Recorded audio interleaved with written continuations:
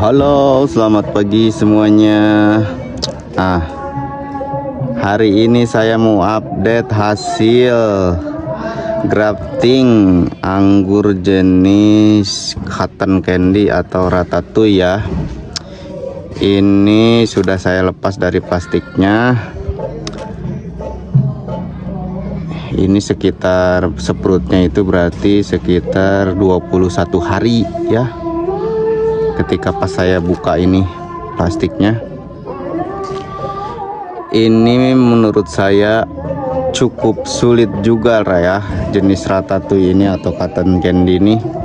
Karena dia ketika sprut ini dari hasil grafting ini jelas ya dari tunas air dia keluarnya bukan dari yang ini tunas bud mungkin nanti kalau ini udah tumbuh agak sekitar 5-7 daun saya potong biar tunas budnya yang tumbuh ya.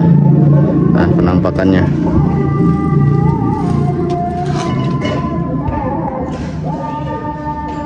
Ya.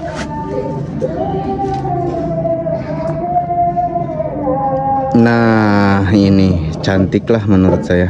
Luar biasa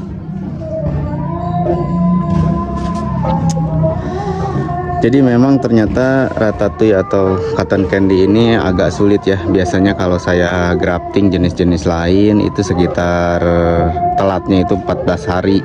Rata-rata sih di 10 hari ya kalau di tempat saya ini. Ini uh, uh, batang bawahnya ini menggunakan Isabella. Ke sininya ini ratatouille ratatouille ya atau cotton candy. Ini penampakan potnya bisa kita lihat di sini. Nah.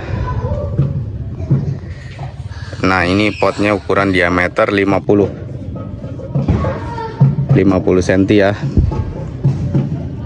Ini para filmnya juga sebetulnya belum pecah.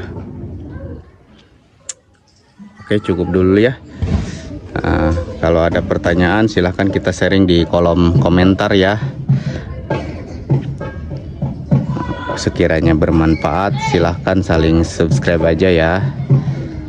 Oke, terima kasih.